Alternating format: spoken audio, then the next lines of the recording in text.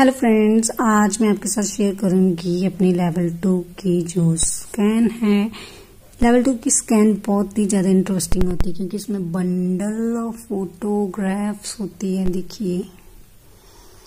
ठीक है? ये सब फोटोग्राफ्स में हमारे बच्चे के जो अलग अलग पार्ट्स हैं, उनकी फोटोग्राफ्स होती है।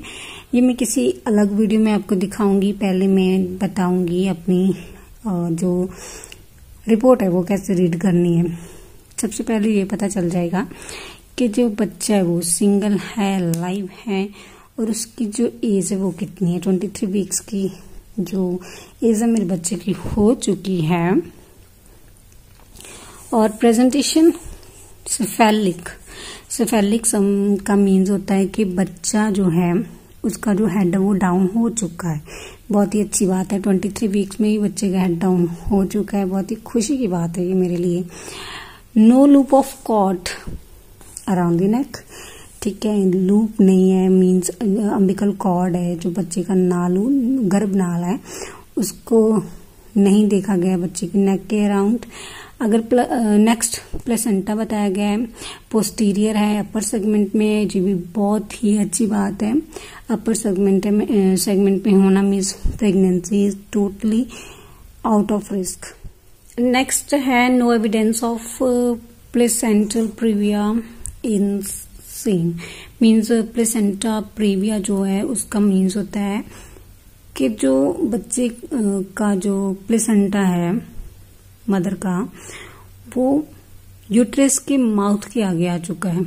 जो बहुत ही खतरनाक चीज़ होती है पूरी की पूरी प्रेगनेंसी का मज़ा खराब करके रख देती है। सो so, ऐसी कोई बात नहीं है मेरे केस में। नॉर्मल है। थिकनेस है टू पॉइंट सेवन प्लेसेंटा की मेच्योरिटी ग्रेड वन है मीन्स टॉप क्लास जो ये प्लेसेंटा है। नेक्स्ट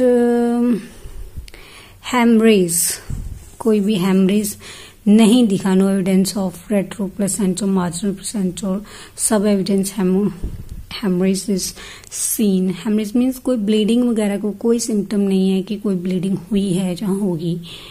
और नेक्स्ट अम्यूनेटिक फ्लूड जी बिल्कुल सही है एडिकेट है, इसकी पॉकेट भी सही 4.2 की मेज़रमेंट में है अम्यूनेटिक इंडेक्स इज़ नॉर्मल अब बताइए expected date of delivery date of delivery है 20 हर अल्ट्रासाउंड में अलग ही आ रही है, पता नहीं ये क्या चक्कर है। फेटल वेट 603 ग्राम्स 603 ग्राम्स बच्चे का वेट बिल्कुल सही बताया जाता है अकॉर्डिंग टू गूगल थोड़ा सा वैसे डॉक्टर ने डराया था कि डॉक्टर ने कहा था कि 23 वीक्स पर थोड़ा कम है ये वेट बट देखो, आगे हो जाएगा इम्प्रूव का activity 166 beats per minute 146 plus आ रही है wow somatic activity somatic activity means बच्चे की जो एक्टिविटी है, हिलजुल है, बहुत अच्छी है।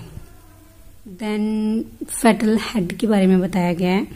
कि जो हेड है वो बहुत ही अच्छे से डेवलप हो रहा है। उसमें जो सैरी बैरल ट्रांसपोर्स डायमीटर बताया है उसका ठीक है?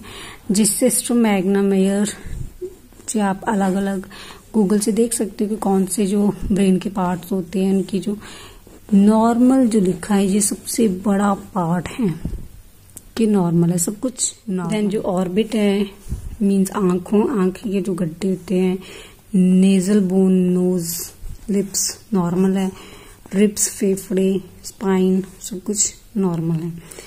हार्ट के बारे में साइज़ अच्छा है, ठीक है।